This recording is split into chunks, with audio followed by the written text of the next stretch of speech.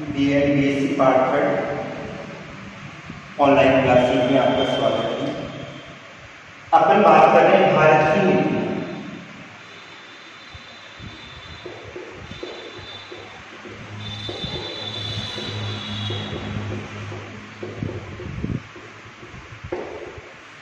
यानी भारत की मिट्टियों की बात करें अपन तो अपन यानी भारतीय कृषि अनुसंधान परिषद के अनुसार सात मिट्टियों का अध्ययन कर लिया था। आज अपनी आठवीं मिट्टी है।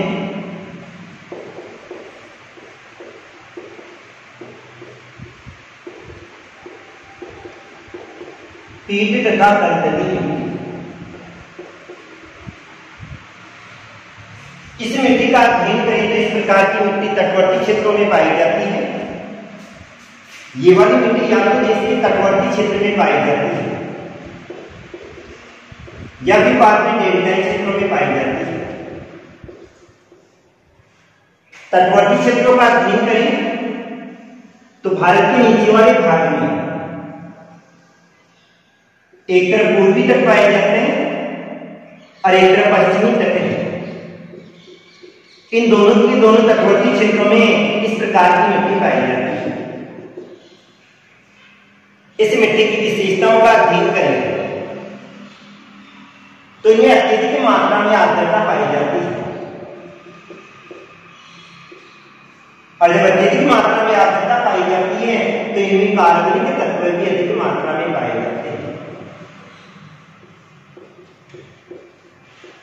पीट या दलदली मिट्टी की बात करें इस प्रकार की मिट्टी या तो तटवर्ती क्षेत्रों में पाई जाती है, या फिर बाद में डेल्टाई क्षेत्रों में पाई जाती है, और इसमें अत्यधिक मात्रा में क्या पाई जाती है?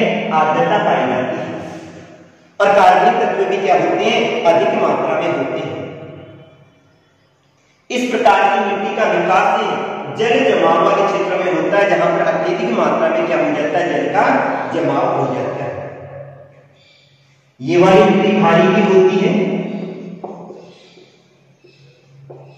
अम्लीय भी होती है, और समुद्र के समीपवर्ती क्षेत्र में स्थित होने के कारण से इस मिट्टी में नमक की मात्रा भी क्या पाई जाती है? अधिक होती है। अर्थात ये वाली मिट्टी भारी भी होती है, अम्लीय भी होती है और समुद्र के तटवर्ती क्षेत्रों में स्थित होने के कारण से इस मिट्टी में नमक की मात्रा क्या पाई जाती है? अधिक पाई जाती है। कार्बनिक तत्व भी अधिक मात्रा में पाए जाते हैं और आर्द्रता भी क्या होती है? अधिक होती है। नमक के अंश पाए जाने के कारण से इस मिट्टी को काली मिट्टी के नाम से भी जाना जाता है। क्या कहते हैं? काली मिट्टी के नाम से भी जाना जाता है। अब ये वाली कहाँ कहाँ पाई जाती है?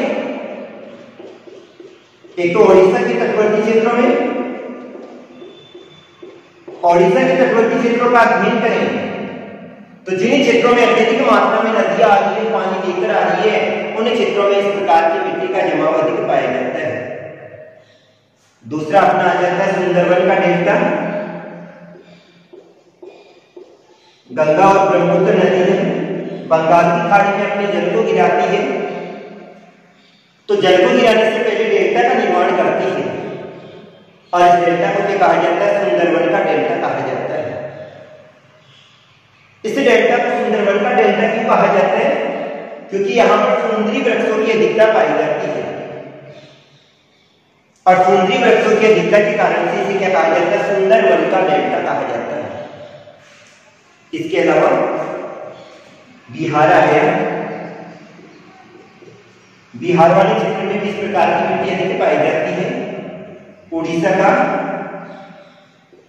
अल्मोड़ा क्षेत्र आ गया और तमिलनाडु वाला क्षेत्र आ गया।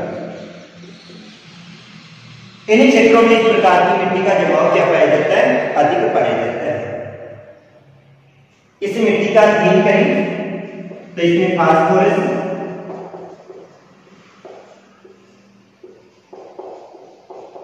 और पोटास। इसमें फास्फोरस भी कम पाया जाता है और पोटास की मात्रा भी क्या पाई जाती है? कम पाई जाती है।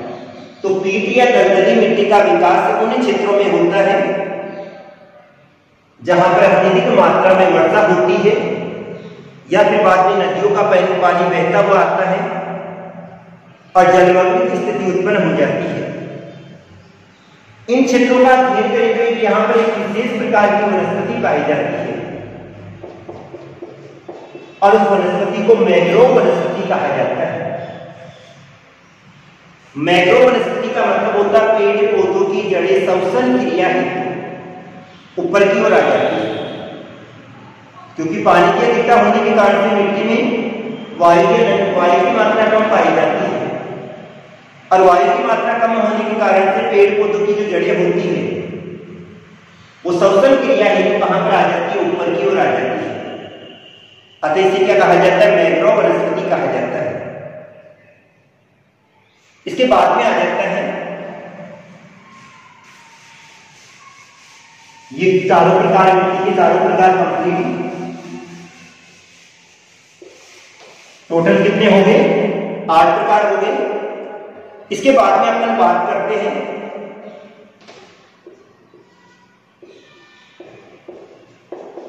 भूमि अपर्दन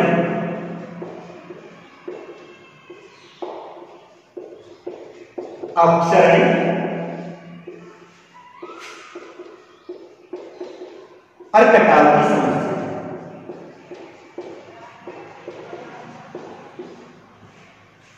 आज अपन बात करें तो सबसे अधिक जो पाई जाती है। वो मिट्टी के कटाव की समस्या होती है। अर्थात मिट्टी में जो अपक्षय तथा अपर्दन की क्रिया होती है, अपक्षय का मतलब तो क्या हो जाता है? चट्टानों के अपने स्थान पर टूटने की क्रिया तो क्या कहलाती है? अपक्षय कहलाती है।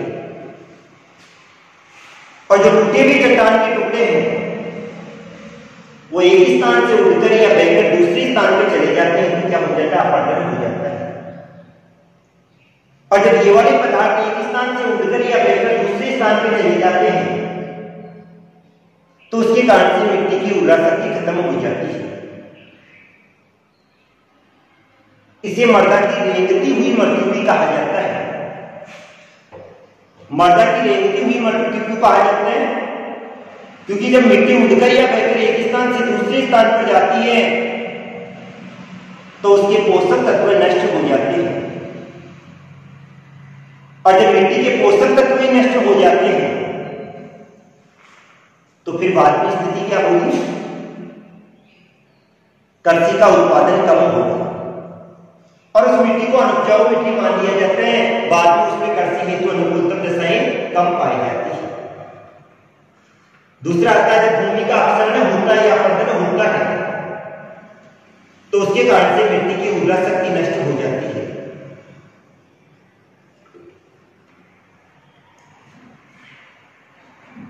तीसरी बात आती है भारतीय कृषि अनुसंधान परिषद, भारतीय कृषि अनुसंधान परिषद आईसीएआर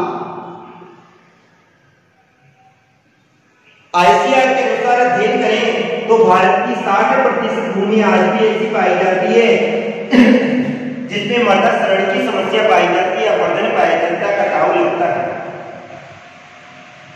ये वाली जो 60 प्रतिशत भूमि पाई जाती है इस समस्या को रोकने हेतु उन्नीस सौ तिरपन में केंद्रीय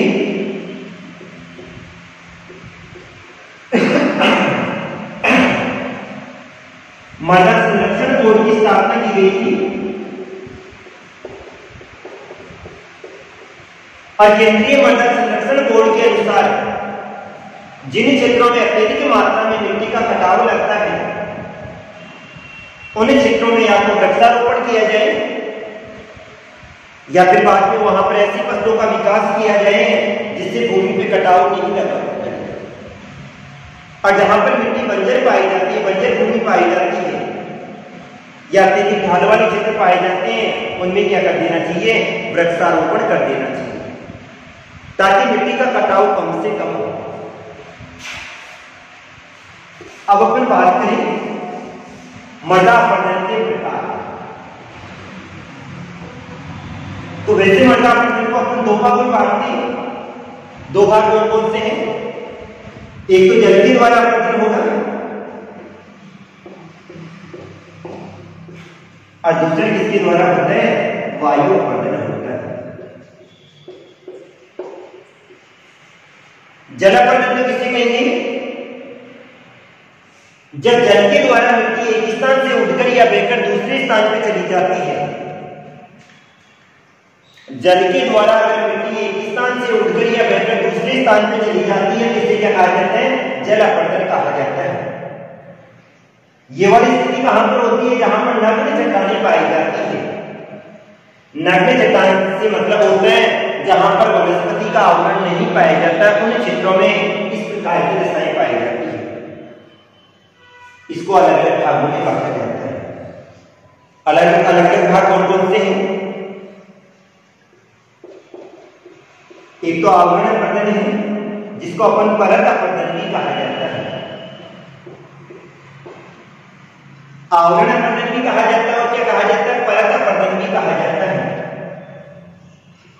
दूसरा अपना आता है लीला पर्दन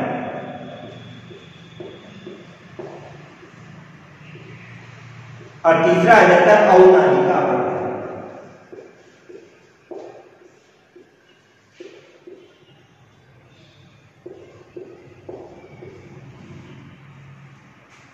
जब जल के द्वारा मिट्टी एक स्थान से उठकर या बहकर दूसरे स्थान में जाती है तो इसे जलपर्दन कहा जाता है। आवरण पर्दन की अगर अपनी बात करें, जैसे यहाँ पर नग्न चट्टाने पाई जाती है, या धरातलीय क्षेत्र पर वनस्पति आवरण का अभाव पाया जाता है। और वहाँ पर अत्यधिक मात्रा में वर्षा होती है। तो वहाँ पे वर्षा के जल के साथ मिट्टी बहकर एक स्थान से दूसरे स्थान पे चली जाती है। अर्थात जहाँ पर नग्न चट्टाने पाई जाती है, और जैसे वर्षा होती है, वर्षा के जल के साथ मिट्टी एक स्थान से बहकर बहकर दूसरे स्थान पर चली जाती है, और ऊपर वाले भाग से पूरी की पूरी परत हट जाती है। जहाँ पर भूमि पाई जाती है, पूरी की पूरी परत एक स्थान से हटकर दूसरे स्थान पर चली जाती है। तो इसे क्या कहा जाता है? आवरण या परत अपर्दन कहा जाता है। पूरी परत बहकर चली जाती है। दूसरी बात आती है अपनी नीला पर्दन रीला पढ़ने की बात करें तो जैसे अत्यधिक मात्रा में वर्षा होती है और जहाँ पर वनस्पति का आवरण नहीं पाया जाता, या कम पाया जाता है। तो वहाँ पर एक छोटी सी नाली का विकास हो जाता है। जब धरातलीय क्षेत्र में इस प्रकार की छोटी छोटी नालियों का विकास हो जाता है। तो इस प्रकार के पत्थर को क्या कहा जाता है? रीला पत्थर कहा जाता है।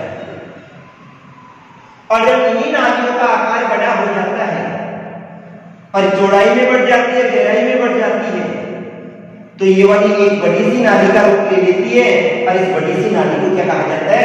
अवनालिका पर्दन कहा जाता है। तो जल पर्दन के चार तीन प्रकार हो गए। आवरण या परत पर्दन हो गया रेला पर्दन हो गया, और कौन सा हो गया? अवनालिका पर्दन हो गया। इनके कार्य से मिट्टी की परत है ना, वो एक स्थान से बहकर या उड़कर दूसरे स्थान पे चली जाती है। दूसरी बात आती है वायु अपवर्तन जब मरुस्थलीय क्षेत्रों में तीव्र गति से पवन चलती है,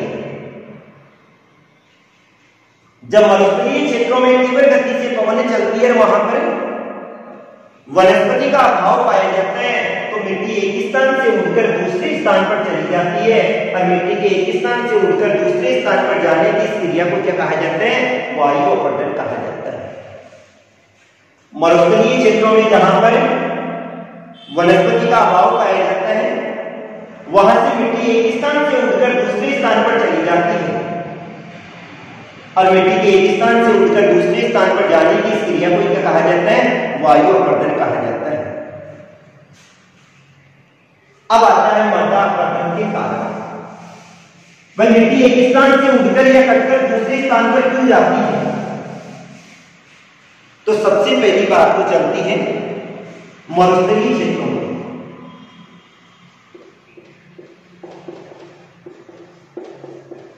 जब मरुस्थलीय क्षेत्रों में अत्यधिक आंधियाँ चलती है। क्योंकि मरुस्थलीय क्षेत्रों में क्या होता है? पवन एक स्थान से दूसरे स्थान पर अत्यधिक मात्रा में चलती है और जहाँ पर भूमि का आवरण नहीं पाया जाता है, और तीव्र गति कृषि आंधियाँ चलती है तो मिट्टी एक स्थान से उठकर कहा चली जाती है? दूसरे स्थान पर चली जाती है। तो मरुस्थलीय क्षेत्रों में अत्यधिक मात्रा में एक स्थान से उठकर दूसरे स्थान पर, यानी जो आंधियाँ चलती है, उनसे पवन एक स्थान से दूसरे स्थान पर चली जाती है। दूसरी बात आती है,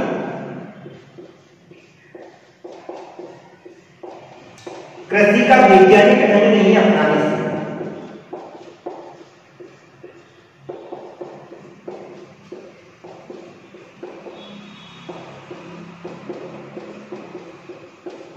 कृषि के वैज्ञानिक ढंग की बात करें। तो जैसे अपन समोच रेखी जुताई नहीं की और नालिकाओं पर बाँध नहीं बनाया या सीढ़ीनुमा खेत का विकास नहीं किया, या ढाल के रूप में यानी वहाँ पर जुताई नहीं की, अत्यधिक मात्रा में कीटनाशक का प्रयोग किया, या अन्य कारणों से। मिट्टी एक स्थान से उठकर दूसरे स्थान पर पहुँच जाती। है तो कर्जी का वैज्ञानिक ढंग से कर्जी नहीं करने के कारण से भी मिट्टी एक स्थान से उठकर दूसरे स्थान पे चली जाएगी तो भी क्या लगेगा? कटाव लगेगा। तीसरी बात आती है, समुच्च रेखाओं की जुताई नहीं करने से समुच्च रेखाएँ।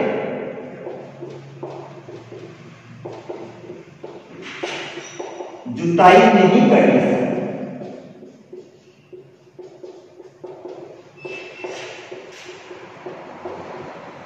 समोच्च रेखाओं का मतलब होता है ढाल के विपरीत दिशा। जैसे अपने खेत का ढाल ऐसा पाया जाता है।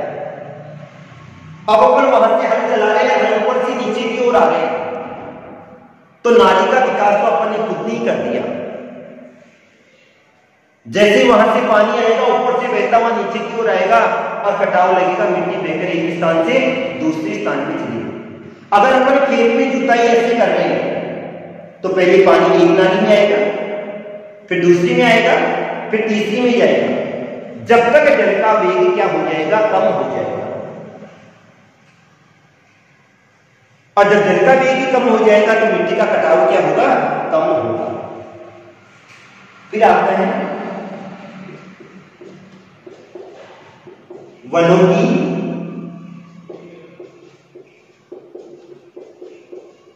अनियंत्रित कटाई। अगर अपनी बात करें तो राष्ट्रीय वन नीति के अनुसार राष्ट्रीय वन नीति के अनुसार किसी भी भूभाग के कम से कम तीस तैतीस प्रतिशत भाग पर। कितने प्रतिशत भाग पर? तैतीस प्रतिशत भाग पर पेड़ पौधे होना आवश्यक है। आज जैसे जैसे जनसंख्या बढ़ रही है, मानव के निवास हेतु और कृषि कार्य हेतु अत्यधिक मात्रा में भूमि की आवश्यकता पड़ती है।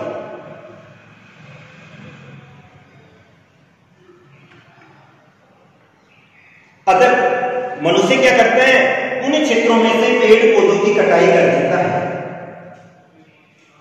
अगर मनुष्य वहाँ से पेड़ पौधों की कटाई कर देता है तो वहाँ पर क्या करेगा? या तो प्रति हेतु भूमि का विकास करेगा, या फिर बाद में क्षेत्रों में बस्तियों का विकास करेगा। तो अनियंत्रित कटाई नहीं करनी चाहिए। जिस भाग से हम पेड़ पौधों की कटाई कर रहे हैं, उसके 25 प्रतिशत भाग पर पुनः वृक्षारोपण कर देना चाहिए। कटाव अपने आप ही क्या हो जाएगा? कम हो जाएगा। इसके बाद में आता है अनियंत्रित पशु अनियंत्रित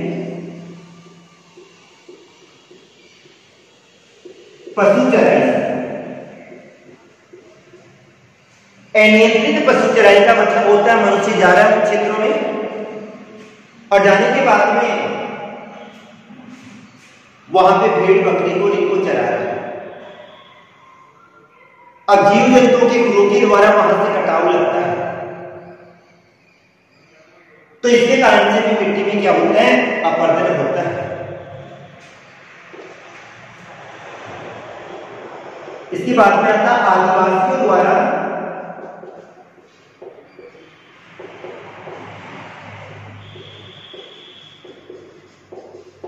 जूमिंग कृषि को अपनाने से। आदिवासी यानी जनजाति विशेष के जो लोग होते हैं, वो पर्वतीय क्षेत्रों में एक विशेष प्रकार की कृषि करते हैं, जिसको झूमिंग कृषि कहते हैं। प्रत्येक क्षेत्र में अलग अलग नामों से जानी जाती है। झूमिंग कृषि भी कहा जाता है, दीपा कृषि भी कहते हैं, पेंडा भी कहा जाता है, मिल्पा भी कहते हैं, लदान भी कहा जाता है, स्वीडन भी कहा जाता है। इस में क्या करते हैं? सबसे पहले जंगलों को काटा जाता है या जलाया जाता है? अब जंगलों को काटने या जलाने के बाद में इसकी जो राख होती है, उसमें बीज को छिड़क दिया जाता है, बो दिया जाता है। तीन चार साल कृषि कार्य करते हैं, फिर बाद में भूमि को छोड़ दिया जाता है। तो अगर मनुष्य वहाँ पे भूमि कृषि कर रहा है तो वो सबसे पहले पेड़ पौधों को काटेगा। और जब पेड़ पौधों को काटेगा तो वहाँ से वनस्पति का आवरण कम हो जाएगा। और जैसे ही वनस्पति का आवरण कम होगा, वहाँ पे मर्दा का क्या लगेगा, कटाव लगेगा, मर्दा अपरदन की समस्या उत्पन्न हो जाएगी। और लास्ट आता है नदियों में अत्यधिक बाढ़ का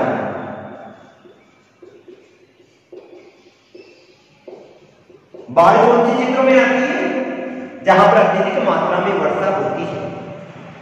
तो जिन क्षेत्रों में अत्यधिक मात्रा में वर्षा होती है, वहाँ पे नदियों में बाढ़ की स्थिति उत्पन्न हो जाती है। और उसके कारण से वहाँ पे मिट्टी का क्या होता है? कटाव लगता है।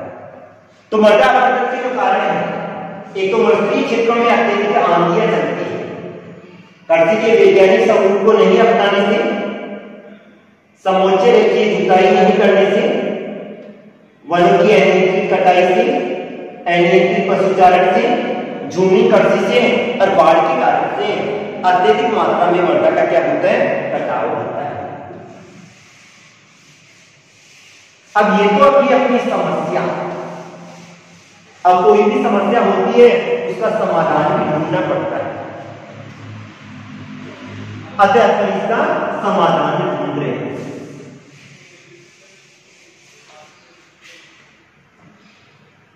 तो अपन देखते हैं मृदा संरक्षण के उपाय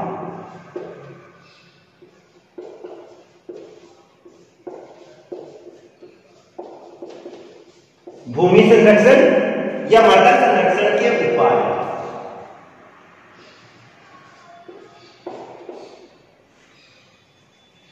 यानी संरक्षण का तात्पर्य क्या होते हैं? वर्तमान आवश्यकता की पूर्ति के साथ अगर भावी पीढ़ी की आवश्यकता पूर्ति को ध्यान में रखा जाता है तो इसे क्या कहा जाता है? मृदा संरक्षण कहा जाता है।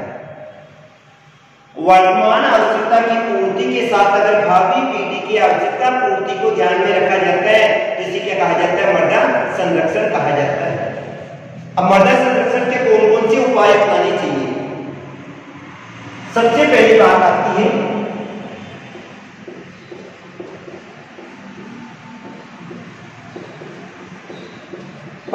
भूमि पर वृक्षारोपण सही है? प्रतिभूमि का मतलब होता है जिस भूमि पर अपन कृषि कार्य नहीं कर रहे हैं। और जिस भूमि पे कृषि कार्य नहीं हो रहे हैं, वहाँ पे उस भूमि पे वृक्षारोपण कर देना चाहिए। क्योंकि वनस्पति के कारण से जल का वेग और वायु का वेग दोनों के दोनों कम हो जाते हैं। और जब जल और वायु का वेग कम हो जाएगा तो वहाँ से मृदा का अपरदन नहीं होगा। तो सबसे पहली बात है जहाँ पर पड़ती भूमि पाई जाती है, वहाँ पर क्या कर देना चाहिए? वृक्षारोपण कर देना चाहिए, कटाव क्या लगेगा कम लगेगा दूसरी बात आती है,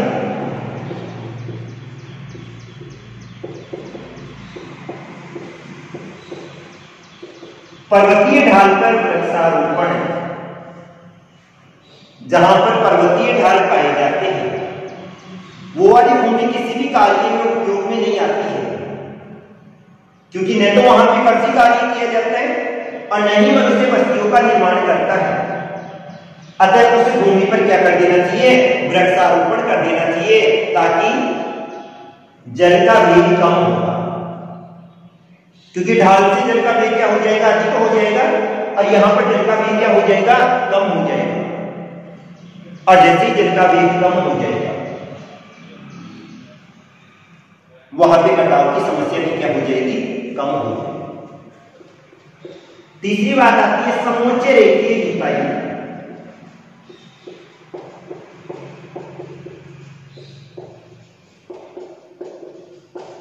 समोच्च रेखीय जुताई का मतलब होता है, ढाल के अनुसार जुताई करनी चाहिए। ढाल के दिशा में जुताई करेंगे तो वहाँ पे नाली का विकास कम होगा। और जब नाली का विकास ही कम होगा तो मर्दा का कटाव अपने आप ही रुक जाएगा। अतः जितने अपन ढाल ऐसे हैं तो जुताई इस प्रकार से करनी चाहिए। और जैसे अपन ऐसी जुताई करेंगे मन जल का वेग क्या हो जाएगा? कम हो जाएगा। और कटाव क्या लगेगा? कम लगेगा।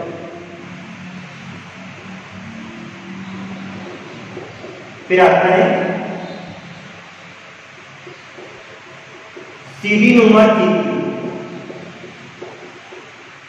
यानी सीधी नुमा खेती कौन से क्षेत्रों में की जाती है? जहाँ पर पर्वतीय क्षेत्र या पर्वतीय ढाल पाए जाते हैं।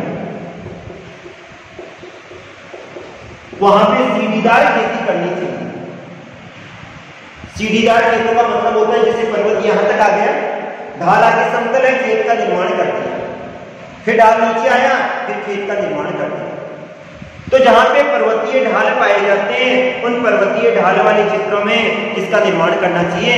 सीढ़ी नुमा खेतों का निर्माण करना चाहिए। और वहाँ पे बाधा की कृषि को अपनाना चाहिए। ताकि जल का वेग अपने आप ही कम होगा, और जब जल के वेग कम हो जाएगा तो मर्दा अपंदन में क्या हो जाएगा? कम हो जाएगा। जहाँ पर तीव्र ढाल पाया जाता है। वहाँ पे अवरोधी बाँध का निर्माण करना चाहिए। बाँध का निर्माण क्यों किया जाता है? ताकि बाढ़ से रक्षा हो जाए। और जिन क्षेत्रों में अत्यधिक वर्षा होती है, नदियाँ बहती है, या तीव्र ढाल पाए जाते हैं, वहाँ पे अवरोधी बाँध का निर्माण अर्थात अवरोधी बाँध का निर्माण करते ही जल का वेग क्या हो जाएगा? कम हो जाएगा। इस कारण से मिट्टी का कटाव रुक सकता है।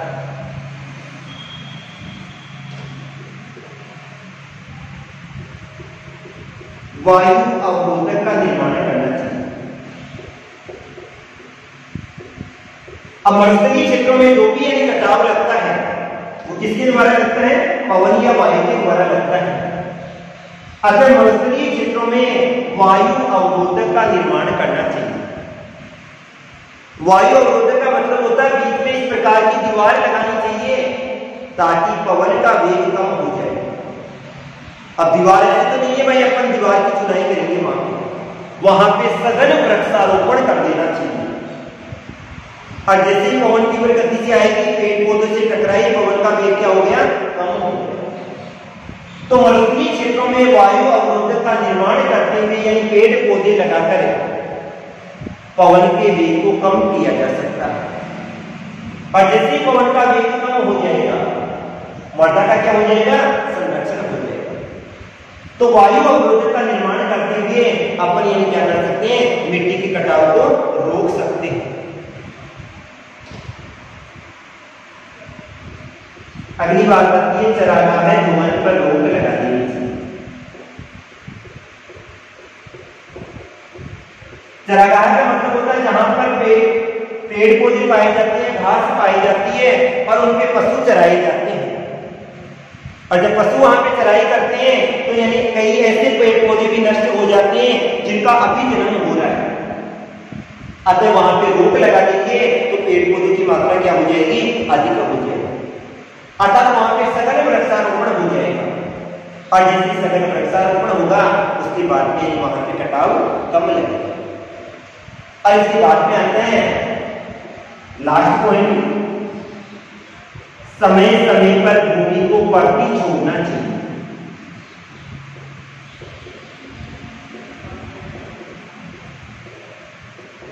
पर्दी छोड़ने से मतलब होता है जैसे एक कृषि वर्ष है।